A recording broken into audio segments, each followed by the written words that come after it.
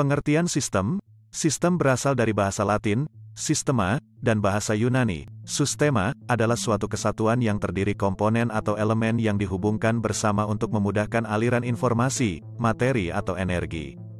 Dapat disimpulkan sistem merupakan elemen-elemen yang saling berkaitan, berhubungan antara yang satu dengan yang lainnya untuk mencapai tujuan tertentu.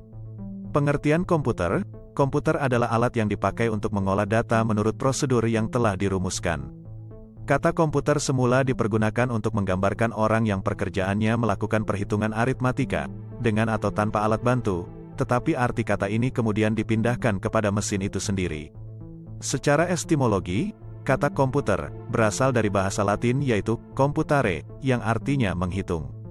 Sehingga secara sederhana pengertian komputer adalah alat yang digunakan untuk menghitung aritmatika.